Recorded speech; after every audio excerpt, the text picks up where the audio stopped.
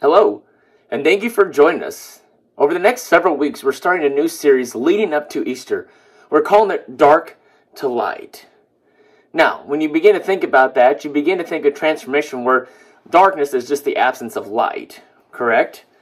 And so we want to go on this journey together to look at how Jesus was there, about how he is our redemption, he's our hope. And so Jesus is able to take all our hurts, our abandonness, our loneliness. He redeems all things together. And even more so, Jesus makes us significant just by his presence. And so we know that a typical Easter series would go through all the, the last final moments of Jesus, while often we count down to that final, final hour. But we see, as we would normally typically see, Jesus saying farewell to his disciples, the betrayal, he's beaten, and darkness falls on the world, and then we celebrate the resurrection. This year we want to do something just a little different. I feel like we've all had enough darkness, pain, and frustration. So let's look at the hope that came from the resurrection and work our way back to that event Jesus in the empty tomb. We need to be reminded that even if what seems insignificant, what seems simple, minor, Jesus is there working to bring life. So today we want to look at a story of two people. While that may seem so insignificant, it may seem like it's even unrelevant because they aren't mentioned that heavily throughout Scripture. Take note what Jesus is doing through their story. Jesus takes normal life, normal tasks, and transforms it into something incredible. See, before all of this COVID stuff, where we that our nation got shut down and we, we no longer ate in restaurants and stuff, I really enjoyed eating at Cracker Barrel. And what's interesting about when you eat at Cracker Barrel, one, they're everywhere. But two, when you go in, they're all the same. When you sit down on the table, they have that little peg game, that little triangle with the pegs, right? For you can sit there and you can play and just pass the time while you wait for your food. For many, it's just a game. For me, it's just a delicacy that you're like, yeah, I know what you're talking about. But I got my love for those little things like those and for Rubik's Cubes from my grandma, who was a math teacher. She loved all of those puzzles and she would spend time finding the, the formula from each hole to be able to solve that puzzle. And so those little games are significant to me. It might not be to you, but to me it is. And that's one thing we understand is we all have those little things that seem insignificant, but they bring great value to us. We can tell and find what people value to be significant by what they hang on their walls, what they like, and what their possessions are. And there you begin to discover their passions. This has nothing to do with the sermon, but just a plug for all those introverts like me out there. This is free. When you get to a place and you have no clue what to have a conversation about, look around, look on their walls, look at their collectibles, and you're able to find points of conversation to talk about. If it's worth displaying to the world, they're proud of it. So maybe it's a picture, a trophy, a trinket. Once again, in the grand scheme of this thing, all the world, it may seem small, and it may not seem like it means a lot to others, but it means something to you, and it's why it's important. So in Luke chapter 24, we find Jesus as is the resurrection, and he has 40 days now to get the word out. He has all of hell trembling, but now he wants to show the world that he is the Son of the living God. Let me prove it to you. And he can redeem them, that the grave could not keep him. And one day, as Jesus defeats death, so what does he do next day? What does he do day one, as it says in Scripture? Well, what do we expect Jesus to do? See, the best way to get the message out for you and I would to be to proclaim it from a high place. Let me scream and shout so everyone can hear it. But think about it this way. If you were in a typical room, if you were in our sanctuary with us, normally, yeah, you would say, yeah, he would preach from up there on stage. But how different would it be if I would come down to you? One, you're like, well, that made me awkward. That was different. That's not what I expected. See, that's what takes place today. You would expect him to be proclaiming it from the high place. But yet Jesus comes down to them. He comes down to their place. We find Jesus on this road to this distant place, to these people we all know very little about. See, the story in that context sounds so insignificant. But yet, Jesus brings value to that. In our minds, we would say it would be so much easier for him to stay in Jerusalem, to proclaim there, to get the word out that way. So we believe Jesus would have been on this road to Emmaus. Emmaus was a small place where scholars still dispute over the actual location. It doesn't sound like a place everyone like Jesus would have gone. So why, after defeating death, why would this be the place where Jesus would go to such simple place? If you remember, Jesus does so much of his work in insignificant people and places. And that's what we want to take notice of. Would we begin to look for Jesus in the insignificant places of life? What Jesus does, he takes what seems like nothing and he redeems it and he brings hope and life, purpose, rooted in the relationship we have in him. So there's four parts that we begin to discover throughout this, this passage here. Let's take note of the interaction at the beginning here between Jesus and Cleophas. So in Luke chapter 24, starting in verse 13, it says, Now, that same day, two of them were going to the village called Emmaus, about seven miles from Jerusalem. They were talking with each other about everything that had happened. As they talked and discussed these things with each other, Jesus himself came up and walked along with them. But they were kept from recognizing him. He asked them, What are you so discussing together as you walk, walk along? They stood still, their faces downcast. One of them, named Cleophas, asked him, Are you the only one visiting Jerusalem who doesn't know the things that have happened there in the, these days? What things? he asked. So, in the first part, we begin to see in this walk they were on. We don't know much about them. We don't know about much about Emmaus, but we do know about Jesus. We're given the name of one, Cleophas, and we're not sure the other person, whether it's his wife or brother or friend. So there they are walking down the road back to Emmaus from Jerusalem. See, their identity doesn't matter much because the story is not about them. It's about Jesus. And we get to share learning about Jesus just like they did. So these two had been following Jesus. They declared themselves as disciples. Now they didn't say how long they had been doing this, but they believed that he was going to be the one to redeem them, to save them. He had been the one who was going to overthrow Rome to, to help alleviate the persecution that they were under. He was going to bring freedom. So imagine all that they witnessed that just took place when the one they thought was going to bring life was put into the grave. It was a dark couple days for them. They were broken. They didn't know what to do anymore. So we find Cleophas. And then going back to what was familiar to them. Has life ever hit you so hard that you just go back to what is familiar to you? When we experience deep, painful hurt, we begin to question ourselves. Nothing has turned out the way we expected, and yet here they are on this road. This random person comes up and starts talking to them. So, one thing we know that Jesus was not like he was when he first started his journey. Life's not easy, life is not without disappointments. Jesus disappoints the Jews in the Bible when they were not happy when they found out who he was. The young ruler who came to Jesus and asked what he needed to do, Jesus told him to sell all your possessions, sell your stuff, and follow me. He walked away sorrowfully. The disciples would ask questions about the kingdom, and Jesus would respond in parables to leave them confused and frustrated and questioning. This frustration comes from the gap. That gap is, uh, is part of our expectations and what we truly experience. Each one of us, just like these people, came to him with an expectation of what Christ didn't meet? How do we fill the gap of expectation and experience? It's easy to fill with frustration. It's easy to fill with anger. It's easy to fill with debauchery. What are you filling the gap with in your life? What we expect and what we experience. See, if Jesus would just come and have met all of those expectations, he would never have had to learn how to trust. So Cleophas is in that gap right now of what he expected and what he just experienced. See, we know he rose from the grave. We know their minds will be restored. We know how he is going to take the dark, insignificant moments of this normal, just plain Sunday and make it the most famous Sunday ever. We know what they do not know.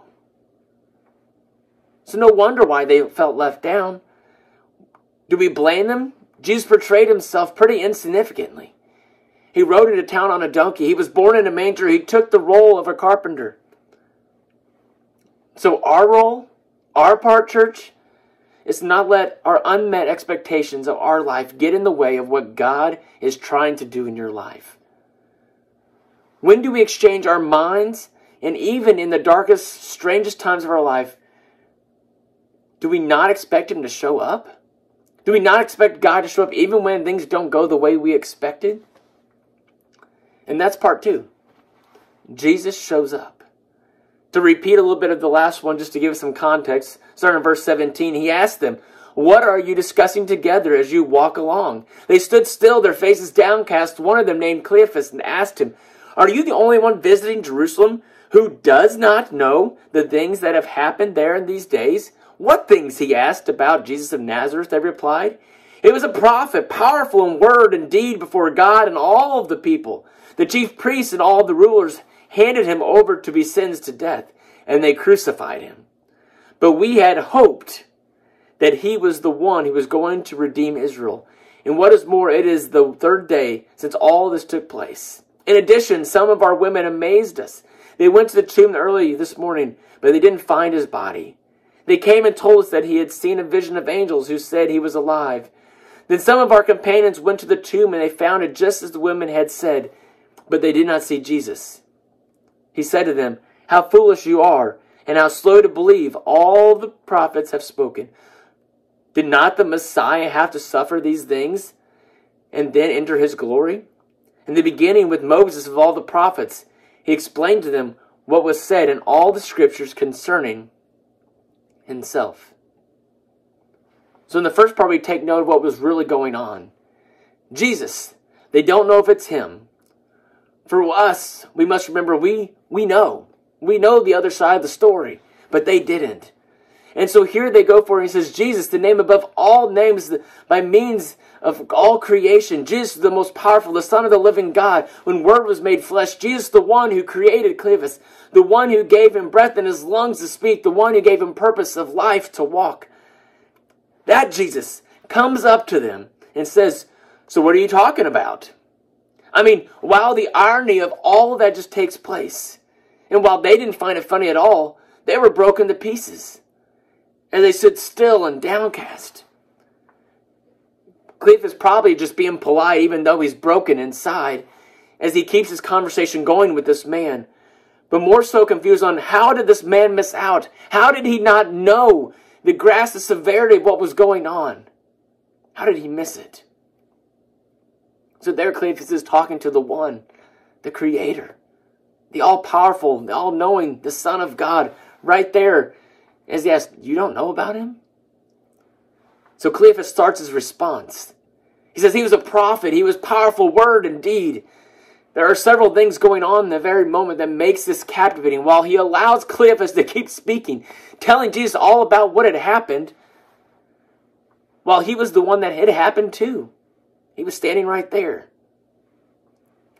What is strange is this that Jesus the, describes countless times throughout Scripture as the I am.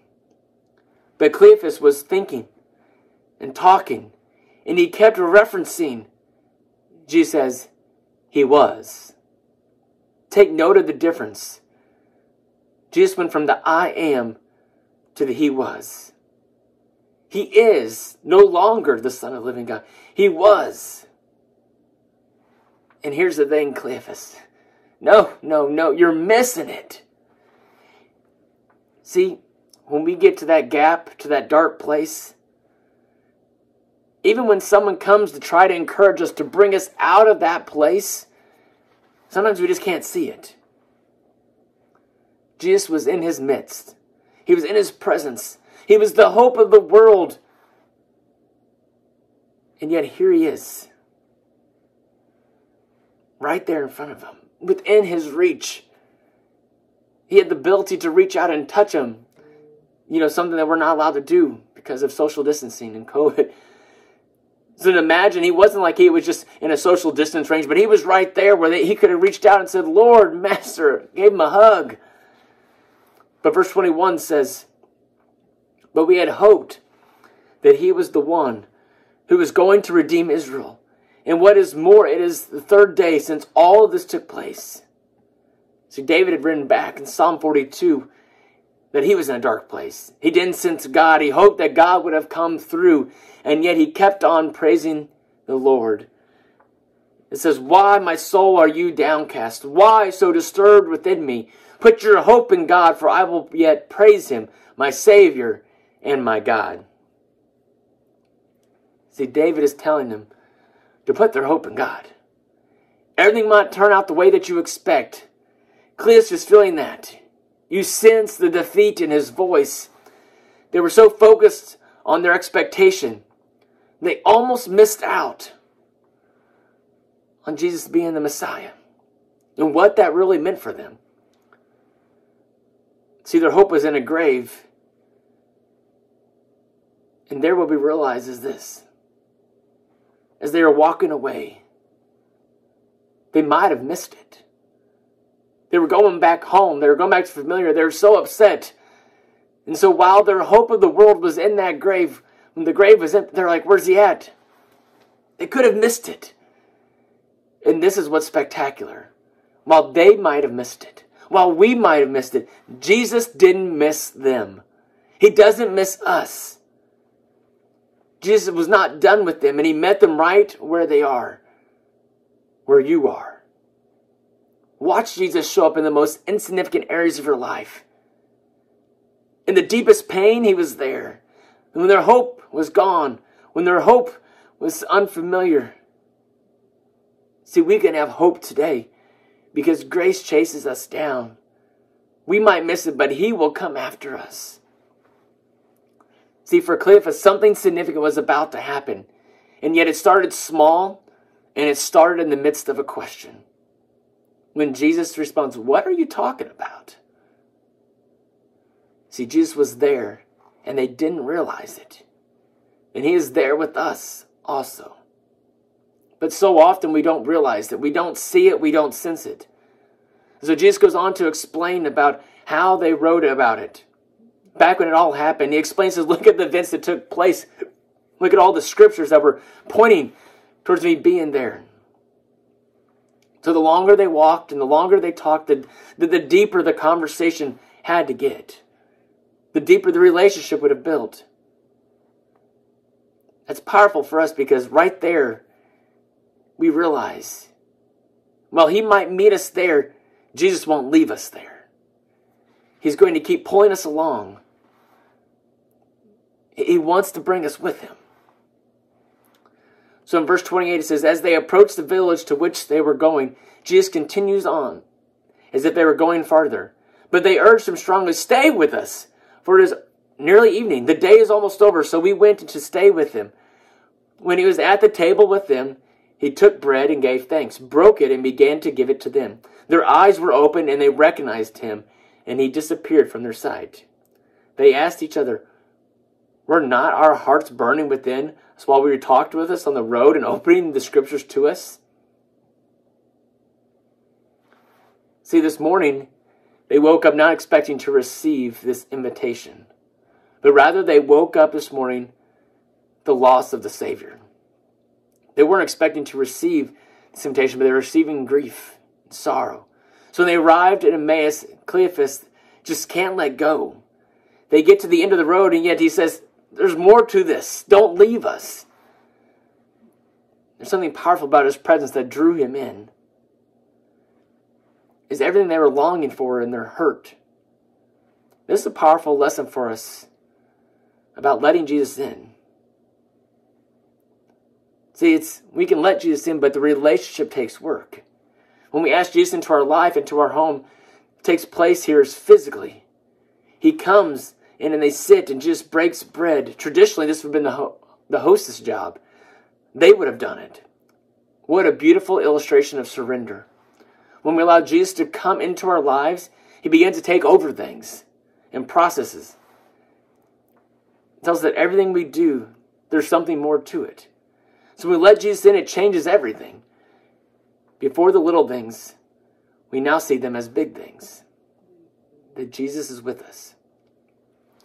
So for Cleophas, the reality of just only made sense at the end. Everything along the way all came together at that moment. Their eyes were open and they realized that he was the one all along. Their hope, their joy, their peace was right there. They just didn't realize it. I think for Cleophas, it was the invita- when he invited Jesus in. That's when he found clarity. The same takes place for us when we let Jesus in, when we give him that invitation. Each week we spend time having a time of invitation. And maybe this week's invitation goes the other way. Normally we say, hey, would you receive this? Would you take part in this call? The tugging of your heart. But maybe the invitation goes the other way. Christ is waiting to come be part of your life.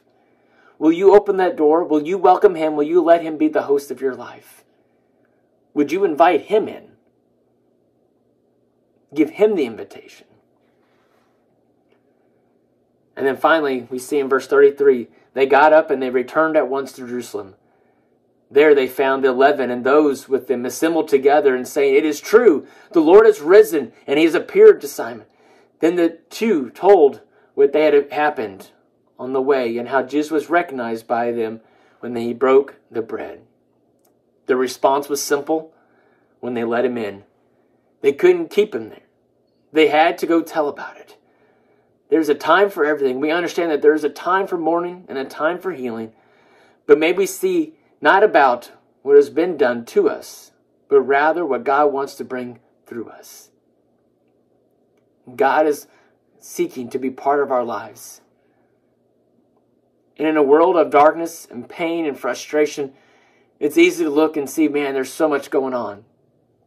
But would we welcome him in? Would we give him the invitation to say, Lord, would you come in? Would you take over all my processes? Would you break the bread? I want to surrender to you. Would you give God that invitation today to be Lord of your life?